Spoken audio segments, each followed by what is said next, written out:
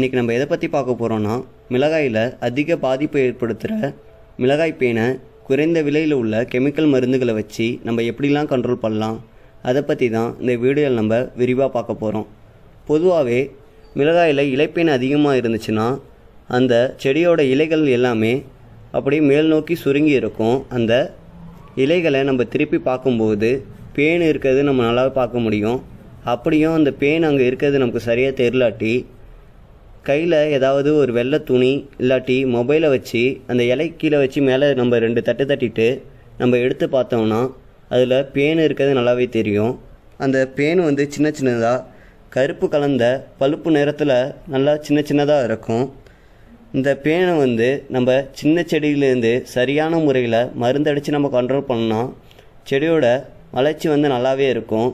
அப்படி நம்ம சரியாக மருந்து அடிக்காமல்